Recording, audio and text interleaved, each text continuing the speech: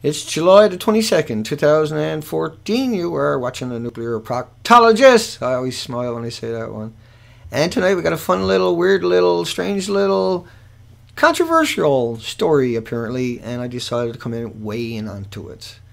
A blue crab, I was going to say starfish, blue crab has been found in Alaska amongst thousands of other crabs, and it's a very rare thing. They have found another one back in the 80s. And I am the nuclear proctologist.org, so why am I weighing in on this one?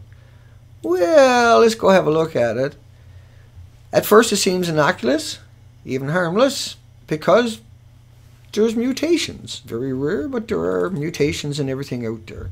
In Pacific sea life, never seen anything like it. And another thing I want you to remember how you hear about cancers from thousands of years ago. Remember, the tar pits have been around forever. And if you ate or drank food that came close to those tar pits, you could have got yourself cancer. And you still can if you go there and do it today. The Nome Nugget, the ABC News has reported on this, Anchorage on the blue crab. And so they're shoving it out there, which weighs up my interest. The Nome Nugget has a little blurb and it's a PDF file. It's slow to open.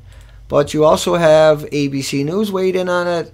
And you got to admit, you know, that's a forget me not. That's a, a, very cool looking color. Now, we've seen this off of Japan. Now, this is Alaska talking about the same story, July the 12th. And everybody's going down taking pictures of it and sharing it on Facebook. And it's become a bit of a story. Now, I want you to take into consideration that I double check that I actually done what I was supposed to do here. it's hard to do what I do. But I am a nuclear proctologist and I like to probe and probe I will. Back on May the 16, 2014, ENENews reported from uh, the Nome, go figure, same people we're talking about today, University of Alaska, Fairbanks, Alaska Dispatch, NOAA, and many other reports about livers crumbling, hearts enlarged, pale, yellow lymph nodes, blood-filled lungs, and there's no answer. They're testing the carcasses on May the 14, 2014 for Fukushima. I'm not su suggesting they do that with uh, the blue crab. I think myself, you know, we should be looking at everything else. But just to keep on track here, livers crumbled was nothing. Uh, Alaska professor Fukushima fallout, a suspected factor in unusual mortality of the seals and the walruses. That was January 28, and you can go listen to the Alaska Public Radio. You can also Japanese government study that the Fukushima contamination in the ocean reached Alaska in under a month. Now the plume never stopped coming at it. It's coming at it at about 50 square miles a day, and we've covered quite a bit here on this site.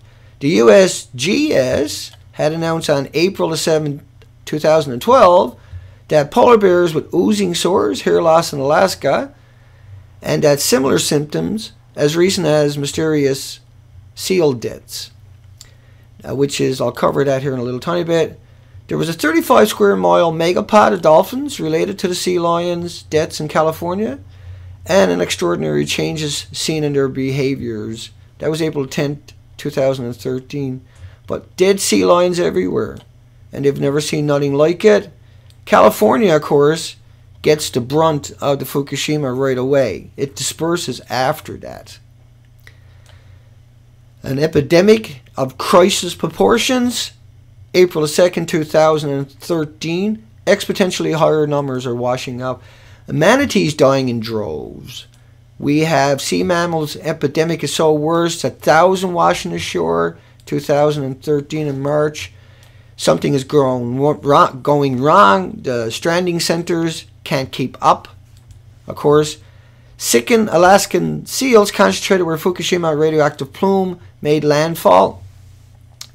Now, the plume is coming out going into the ocean at a sustained rate every day from three melted reactors. Chernobyl is one third the size of any of the reactors at Fukushima. Chernobyl was a 30% meltdown. Fukushima was 100% meltdowns, and number four spent fuel pool has evaporated, and the core, what they had done with number four at Fukushima was the buildings were all cracked, the basements were all snapped from the earthquake, tsunami came in, for 500 miles and ripped the coast up. Fukushima was right up the center of it. And so it was total devastation. You can never get in or they sprayed salt water on it. And these buildings are hemorrhaging radioactive materials from the melted cores and from the dispersal of the detonations from the neutrons and the X-rays splitting the atoms directly into the environment. Every time it rains, all the water perpetually pouring on it. Let me keep going. Uh, radiation test underway on dead and diseased seals in Alaska. Bleeding lesions, hair loss. This is a typical radiation illnesses, especially when you're thinking about something that is eating the marine animals that are bioaccumulating everything. 50 square miles a day every day goes into the ocean from Fukushima of unimaginable radiation from spent missiles that were put through the chain reaction at Fukushima again. And scientists are showing, you know, they don't want to, and that's hard to look at, but I mean, this is really, truly happening to our planet. The largest disease outbreak is what they're calling it that we've ever known of. It's they're total denial and potential for global extinction. And I agree with that 100%. That's why the nuclear proctologists exist. We exist because we have to, to give you a lucid version of what nuclear means, what radiation means, what ionized, how different that is from everything else in our solar system, how it's man-made is truly man-made. You won't find them in the actual on the moon or created by the sun. They're not indigenous that we know of to our solar system. Our periodic table has been adjusted to insert them in there to trick you. Over 20 species of starfish are expected to die off. Maclean's, Eugene Weekly, the KUOW News, Earth Fix. And this is not a joke. This is Fukushima. The, radi- the dispersal came in, the disposition all over the country gets washed. A lot of it gets washed back out to your coastline. It's coming in every day and slamming into your coastline. It takes about 130 days to cross the ocean, 1,200 days. So your ocean is starting to fill up and we have to deal with it. And we have ways to deal with it. That's what we're trying to do here. TV like a horror show at Los Angeles Beach, unusual number, numbers of marine animals getting sick and dying. They're falling over, they're hobbling all over the place. People, people are reporting on it. KTTV Los Angeles, Fox 13, KTD Broadcasting. You scroll down and you start reading this stuff 50 dead sea lions, whales, walruses recently stranded in Alaska, dozens of seals suffering from baldness, skin sores. The transport of Fukushima radionuclides present a new stressor to the ecosystem. I can assure you, if you're going to go to the mainstream media or go to your local institutions or your local universities without context, you're going to get your soul robbed by these people. These are the nuclear apologists the nuclear proctologist has probed very deeply in the last eight months into the nuclear industry, and we, they have come up wanting over and over and over. They are lying, manipulative people. Toxic outbreak, birds falling from sky, sea lions convulsing, toxins hit the record levels, thousands percent, heart lesions. Now that's their heart lesions and their notorious radiation illnesses.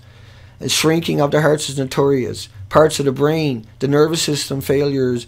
These are all emblematic of radiation, and the system is unbelievable.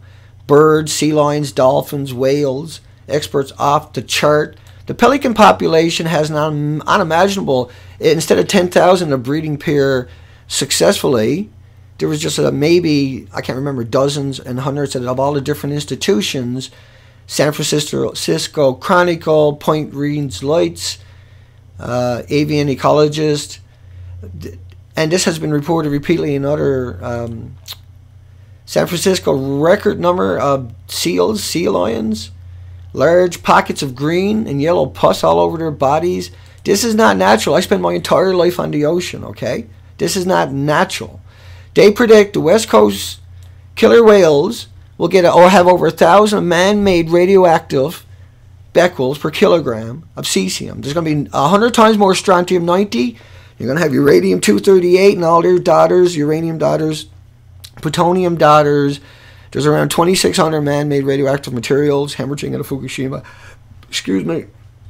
Seattle Post Intelligencer, uh, Canada.com reporting on it.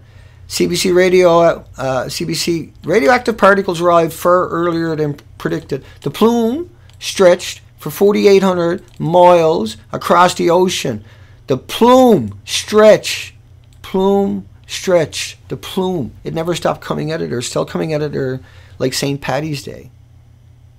Every minute, 1,440 minutes a day. I shouldn't have to do this. You shouldn't have to do this. This is why we paid the system. You go over to the nuclearproctologist.org and I have it all vetted out over there for you. U.S. government scientists investigating if Fukushima radiation contributed to unusual death and sicknesses in marine animals. Similar illnesses seen in Japan and other countries in the Pacific. It's frightening headlines, and you got unbelievable amounts of institutions have reported on it, but the media doesn't. And if the media does, it gets buried. And that's why we have to aggregate it all so you can have the story, so you can understand what you're missing and all the fluff you're being fed. They're not going to feed you any of this. They don't want you to know about it. They'll lie to you, and that's what they do. What we do is we just find the facts. We don't need anything else. It's all mainstream media, ABC, Home Nugget, everybody telling you the same thing when you go through it like we have thenuclearproctologist.org. Scroll down through. When you find the pictures, you can click on them and the stories down below. Get down to the ocean. I'm not going to get there on this stream. But you can get to stories on different sections of Canada, United States, and click your way through and start learning so you have a good foundation to work with and then go out and do your own investigation. You'll find out that after eight months, that's why this site, the Nuclear Proctologist, exists. It's there so you got a one-stop shop to work out everything. Let the page load up. I'm trying to resolve the issues with your script. Let the page load up, and then you can go down and click away. There's 2,000 pictures down below, and a different, not like this, there you can slide across them. You'll see a slider. There's Canada, there's Japan, there's radiation illnesses. There's stuff here so that you could, to guide you, to help you get through the nonsense. And that's what you have to do. You got to get through the nonsense and then learn. And what we're here to teach you, ask questions. There's links above to get hold of me if you desperately need to talk for a question. I'll definitely get back to you. I'll do interviews, I'll do radio, but the media won't touch me. But I'm here, I'm for you, I'm by you, I'm, I'm because of you. Because you need to know, you, and when you find out, they'll terrorize you. I'll make you understand how to go about it, how to deal with it. There's 4,300 peer-reviewed academic studies that you paid for every day published. We took one day of that and put it to work on solving some of these issues. We wouldn't have the, the, what's coming. But if we don't deal with it, it is coming. That's why we're here. Take care, folks. We'll see you tonight during the live stream. And remember, don't hold your breath. The blue crab could be Fukushima, could be a mutation. The rest of it is most likely Fukushima.